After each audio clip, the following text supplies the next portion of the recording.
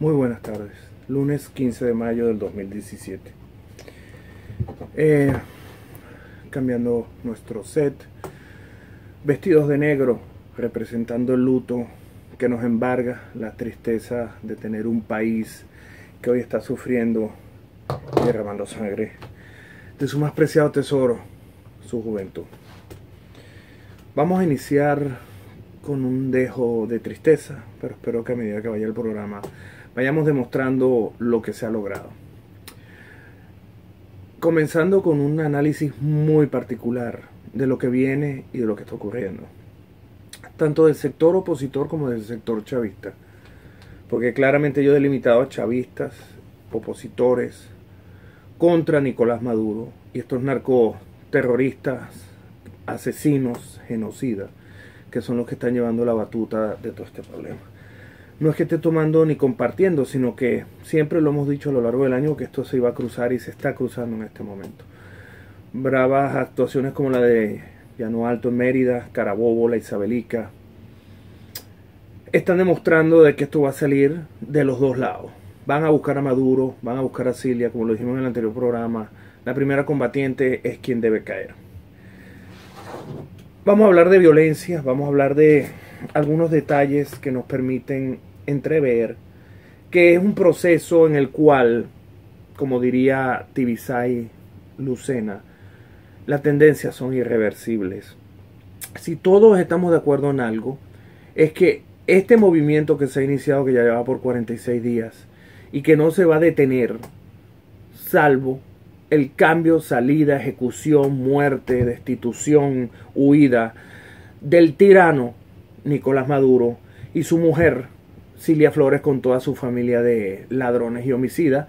Y entre ellos estarán todos los demás como Benavides, Padrino López, Aristóbulo, Tarek William Saab, Tarek El no sé para dónde. Yo pienso que la salida va a ser definitivamente de ellos terminar como Mussolini, Gaddafi o Hussein. Pero sea cual sea el escenario de la salida que se dé, lo cierto del caso es que se va a dar se puede llevar 30, 20 días, 6 meses. Ya esto no es de que vamos a volver y vamos a dialogar y vamos a ir a elecciones, no. Esto es un proceso irreversible en el cual ya las tendencias son salir de este tirano y de su gente. Eh, vamos a analizar más adelante casos como el de Luis Ortega Díaz. Eh, vamos a hablar de las persecuciones en el exterior. La gente perdió el miedo. Hay mucha rabia desatada.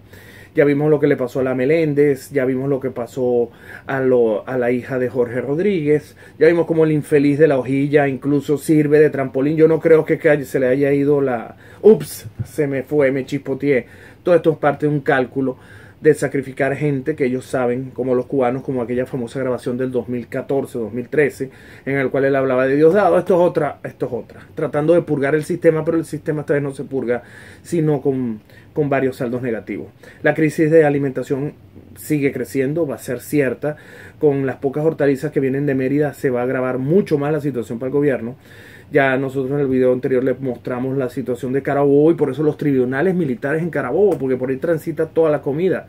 Mercado mayorista, por eso es que primero va eh, Sabarse, después Benavides, se ven superados por los, por los imbéciles que son y tienen que mandar al propio eh, Reverol. Reverol es sobrepasado porque es más imbécil que lo igual, igual que, González López. Y tiene que ir eh, directamente Chourio, Morcilla, que es el protegido de esta Cilia Flores. Se trancó la comida, se está distribuyendo entre ellos. Ayer Carneiro tuvo una fiesta espectacular por el Día de la Madre, una pernilada donde todo el mundo comió y disfrutó. Me acordé de la tipa esta que sale en el arepaso hablando de lo mal que lo pasan porque están este, amenazando a las hijas. Pero la realidad es que comen, se llenan el buche.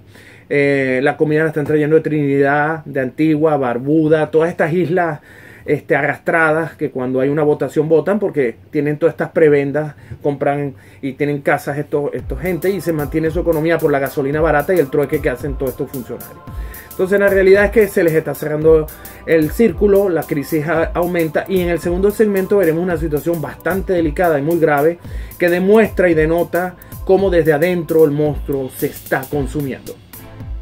La hora de Abelardo Izaguirre fue presentada por